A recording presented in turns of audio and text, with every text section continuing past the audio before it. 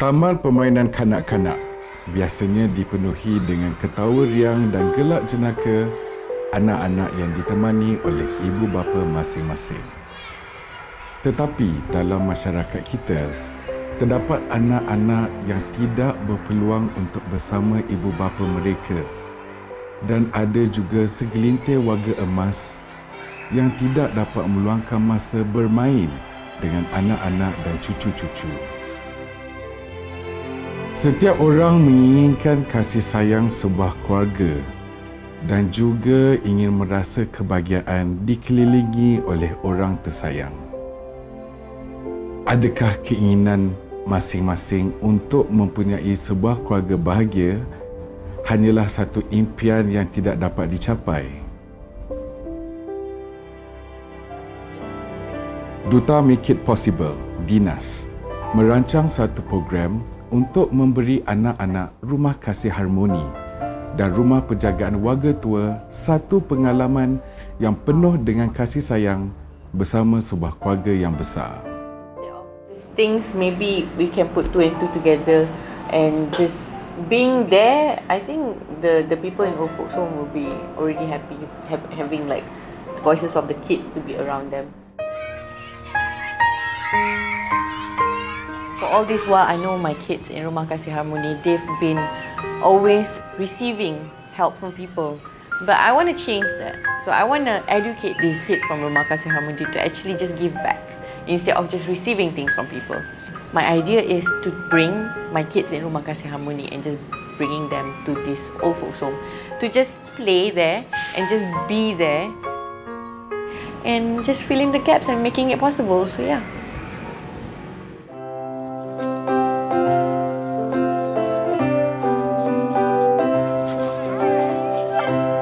Ini saya bersama dengan dinas ingin pergi ke rumah orang tua-tua dengan rakan-rakan saya semua ni sebentar lagi. At the old folks home, what they need is the sound of children laughing, the view of children playing and just having the company of little kids around just to give some love. They don't get that and that's why they're there.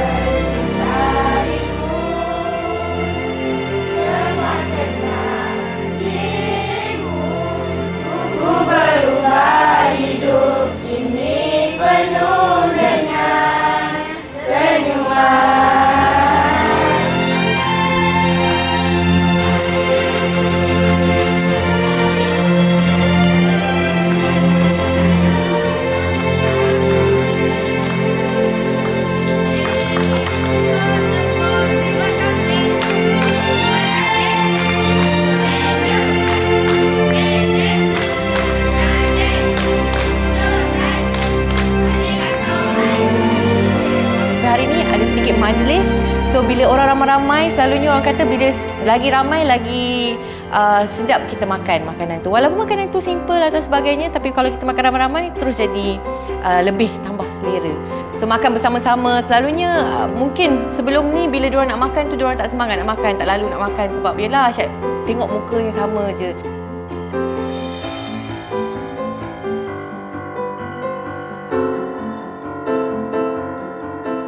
Very happy okay. and and got something to eat well. My stomach, my belly said thank you.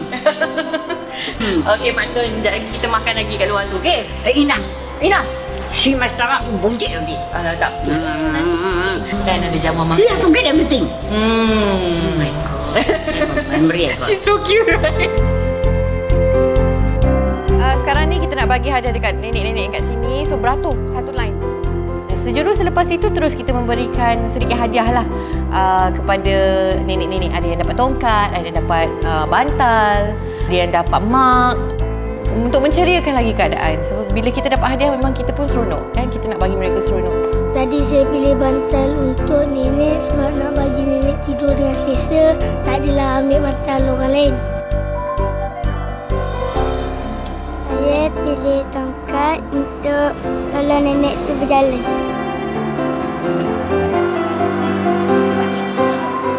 Kadang-kadang bila kita datang, kita bagi dia orang senyum, kita buat lawak, kita ketawa. Itu dah membuatkan mereka senyum dan ceria. Memberikan senyuman tu sahaja akan mengubah hari mereka untuk menjadi lebih ceria.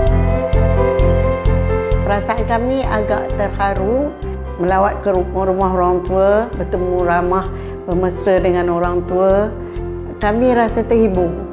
Melalui program ini saya mengharapkan satu permulaan baru bagi mereka untuk maju ke hadapan untuk menjadi seorang insan yang lebih berguna pada masa hadapan terutamanya untuk uh, negara Malaysia yang tercinta ini. Apa yang kita rancang, kita dah dapat laksanakan tadi. Uh, motif kita adalah untuk educate orang to give back instead of just receiving. So, I think it was a success. I'm very happy that the kids dengan nenek-nenek yang ada kat sini dapat meluangkan masa bersama-sama untuk senyum. Itu je yang nak tengok. Budak-budak tu senyum, nenek-nenek tu senyum dan they had so much fun so that's what I want and that's what I saw. So syukur Alhamdulillah, thank God semuanya berjalan dengan lancar and it's a success. I made it happen. Bukan bisa terbang bagai Raja Wali Dunia ini tidak berhutang kasih sayang dengan kita jika kita tahu bahawa kasih sayang itu telah pun bersemi di dalam hati kita. Di mana wujudnya kasih sayang, di situlah wujudnya senyuman. Come on people, let's make it possible.